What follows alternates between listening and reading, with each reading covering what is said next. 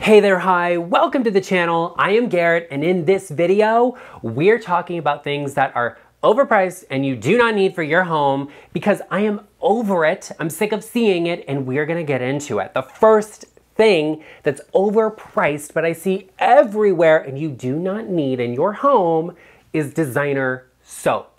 As long as you are washing your hands and the soap is getting a your hands clean, what difference does it make where it is from or what label is on it, what brand it is? I'm not impressed by designer soap. I don't care if you spent 40, 50, 60. I have seen $80 soap before. I don't care. It doesn't make a difference to me. It's literally soap. I would be more impressed if I go and wash my hands at your home and I have like a gorgeous scent on the soap and I say, oh, where'd you get this from? And say, you know what, there's this great shop down the street. Somebody, she runs it. She makes all of her own soap. That's impressive to me, supporting small businesses, getting something unique, interesting, having your own scent made for your soap. If you want to buy expensive soap, that's the thing to do. Support a small business, have soap that's handmade that's better than like designer soap. And let me tell you what, the thing about designer, okay, unless it's got, you know, like a major brand name on it that we all know and recognize, nobody knows what it is. And nobody cares either. Okay, literally, that's the truth. Nobody cares about what designer soap you're using.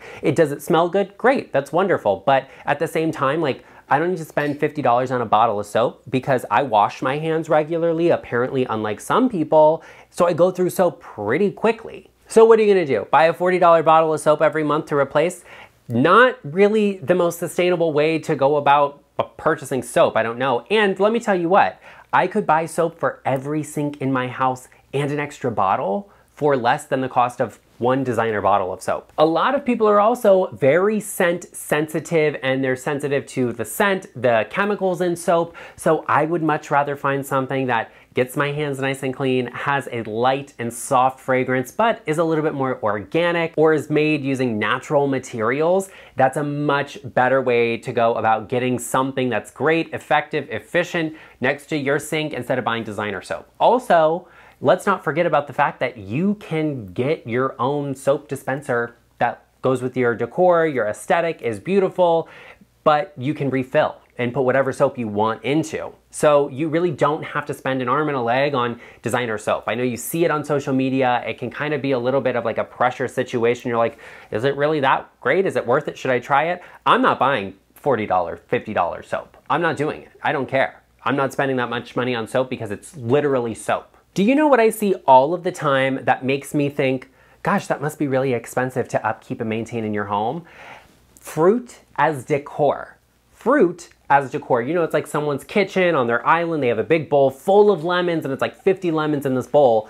And I'm like, are, what are you doing with the lemons? Like, are you really going through that many lemons? Are you eating them like apples or something?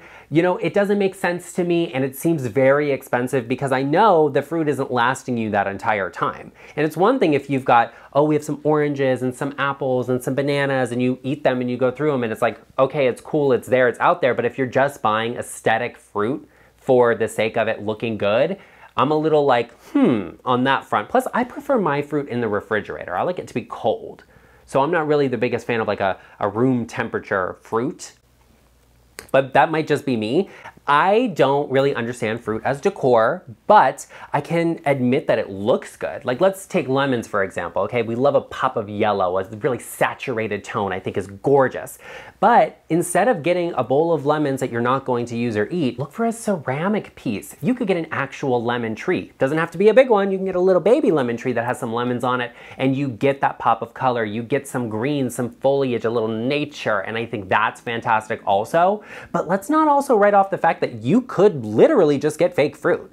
There is like hyper realistic fake fruit. I found a seller I'm gonna link below for you. These lemons are hyper realistic. They're made for like photography and magazines and for staging, but they're fake lemons. Not saying I think everybody needs to have fake fruit in their home, but like that's so much better than wasting money on getting fruit that you're not planning on eating just for the sake of decor. And listen, I think we can all agree that wasting food is not something anybody should be doing. So you do not have to buy fruit for the sake of decor. I'd much rather see you buy flowers, go to a local farmer's market, support a small business, get some flowers from them, and boom, there you go. You have that like fresh moment in the kitchen that's bringing a little pop of color. Great, move them around your house everywhere. That's wonderful. But like, do we have to have fruit as decor? I don't think so. I don't think food is really the answer to that. But like I said, if you like it, there are alternatives out there that can get you that same look without you having to like go through and throw out a bunch of fruit every week, every month, or whatever,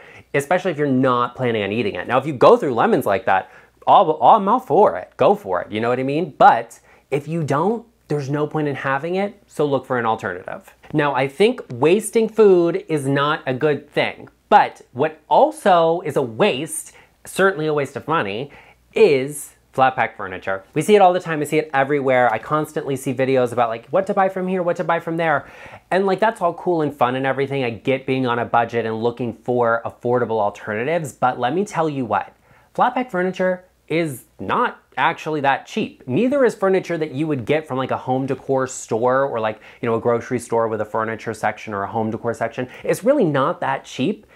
But when you look at the quality, it's extremely overpriced. Particle board or, you know, soft woods. You look at these pieces and it's like they're already damaged on the floor, the sales floor, and they're sitting there and it's like, why would I buy that? It's no good. I see influencers all the time who will get, you know, like this great piece and be like, oh, you have to have it. Look at it. It's so amazing. It's beautiful. And it is beautiful, but it doesn't have the quality to be durable and have longevity in their home. So it's like, yeah, okay, we see it now. We see it for two or three months and then it's gone. And it's rotting in some landfill because let me tell you what, I think that if somebody has to go to a charity shop that you're planning on donating this to, they deserve something better than some banged up, bad quality, damaged furniture. So I would say steer clear of it and look at the price tag. Like, you know, a pair of nightstands, you might find them and they might be like 120 or $150 each, flat pack.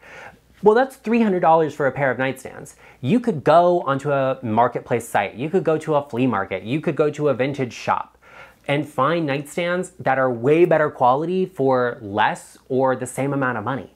And you have something that's like actually solid wood that doesn't require any assembly. They're nightstands, they're not big. You could probably put them in any size car.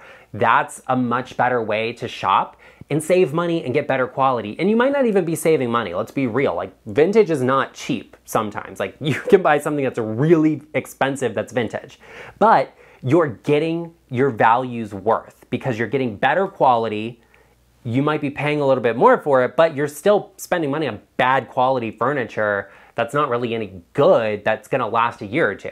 Now, vintage does not have to mean used, old, it doesn't have to mean it's any specific style. There's great traditional furniture, but there's such amazing contemporary, modern, postmodern, mid-century, Danish modern furniture out there on these marketplace sites that you can go to and find, and it's it fits any style, and I think that's amazing. Also, uh, I see all of the time all of the time luxury designer furniture custom made cost thousands of dollars on the resale market for, you know, maybe one or two thousand dollars or a couple hundred. Or some people just don't know what they have and they're like, oh, you know, I just want it gone, come get it. Like I see that all of the time, all of the time. And you can get such amazing things that are not just from some generic store. Let's be real. That's what it is. This furniture for the quality is overpriced. It looks cheap now, but when you have to replace it and spend the equivalent amount of money or double or triple that to get something better, it's not any cheaper, it's overpriced, you're not saving any money, you're costing yourself extra. Listen, you know, I'm not the person that I'm just gonna sell you any generic stuff that I don't believe in. If I show it to you, I genuinely use it, I believe in it, I believe in good quality. And if you are that same person, please take a moment, hit the subscribe button, join us, become a part of the LeChic family, and give this video a like. I really appreciate it and it helps us out a lot. Subscribing helps us out a lot, but what does not help anyone is buying overpriced things. And one of the most popular things right now, one of the biggest trends that is overpriced that I'm sharing with you right now are paper light fixtures. They look beautiful. I will give them that, okay? Like, you know, I'm gonna tell you like it is. I'm gonna tell you the truth. They look beautiful, gorgeous. I love it. The glow, the moodiness of the light, but it's literally paper. It is paper. Paper is not expensive. So why are these light fixtures so expensive? I do not understand it. These light fixtures can be hundreds, if not thousands of dollars. They look beautiful, but it's literally paper. It's just paper. Maybe there's like a wood or a wire in through it to give it shape. It's just paper. there is nothing more overpriced that I can say in this video. Like it's literally paper, paper light fixtures. Why are they costing so much money? Why are they selling for such a huge premium? There is great design. There's great design, but we also see like people be like, oh, it's so amazing. There's a dupe of it here. Of course there's a dupe of it. It's paper. Of course it's cheaper. It's just paper. And I know I'm going on saying it's paper, it's paper, it's paper, but like how else can I explain it to you that you do not need to spend a ton of money on paper? I bought a pack of it at the grocery store the other day for my printer and it cost me $2. Why are light fixtures hundreds of dollars that are made of it? It makes no sense to me. I think they look beautiful and there are more affordable alternatives than buying a designer or expensive paper light fixture. You can get an affordable one. Literally go on some of these sites and look for them. Google paper light fixtures and you're gonna see a ton of them that are gorgeous but that are not expensive because they don't have to be, they shouldn't be because the material is not there. And I'm not saying anything about craftsmanship or design or quality. I think that's all there and maybe you pay a little more for something like that that's really amazing, but at the end of the day, it's just a paper light fixture. It should not be massively expensive. It's not gold, it's not brass, it's not iron, it's paper. You know, I love vintage, I love sourcing, I love finding antiques, I love collecting. And something I'm always looking for, of course, is decor. I love vintage decor. I think it brings character, personality. I think you find one-offs or really unique pieces, and I think that's amazing. But what I think is overpriced is going to box stores and buying decor because it's usually the same cost or more than what the same thing vintage would be. Literally go to a flea market and look at some of the things. People will put out things that look like garbage, okay, that they think are garbage, but it looks exactly like what's the new thing at some box store. And, and they'll price it like it's like $5 and it'll be $60 at some other store. I can't. I cannot because buying new decor is fine. We all like new things. Not everybody likes vintage, okay? I get it, I respect it. I have a mix of things in my home. I'll buy something brand new, I'll buy something vintage, I'll put the two of them together, and that's great. I think it builds character, personality into a space. That's fine. You don't have to go that route, but do not overpay for something that is fake vintage, that looks vintage, but is at some box store because you literally could get the same thing that's actually vintage for less. Everybody else has it. They can go to the store and get it. And I can't tell you the number of people online I see that are like, oh my goodness, I just got this. It's so amazing. It's so beautiful. It's wonderful. You absolutely have to get it now before it sells out. If something is going to sell out quickly, you don't need to buy it because it means everybody else already has it. Why do you want the same thing as everyone else? I want to see what you are. I want to see what represents you. When I go into your house, I don't want to see what the latest thing from whatever store or collection is. That's the thing. That's it. What is great interior design? You ask me about all the time. Great design is about walking into your house and learning about who you are, being intrigued by the person you are, and having a space that's curated around you as a person, not just what's available right now in a store. Now that we have talked about some overpriced things you don't need, let's talk about some luxury home features that just don't look good. Be sure you check out this video right here to learn all about it, and I will see you over there.